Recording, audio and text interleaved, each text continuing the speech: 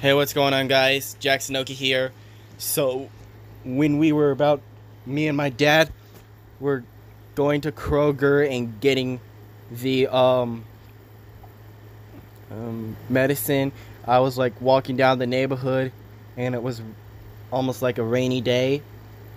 And I saw this excavator, which happens to be there'll be a Kroger Fuel here behind the old Arby behind the Arby's, which the Kroger Fuel is supposed to open in around late 2024 to early 2025, if I could remember correctly.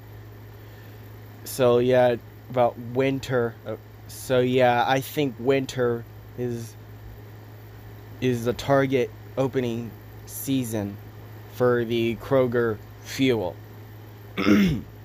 so yeah, about December, January, if I could say. So yeah.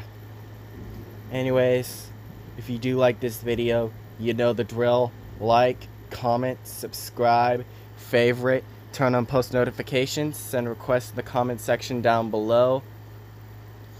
And if you have any questions, you can comment about this place. Just be sure to comment. Anyways, this is me signing off.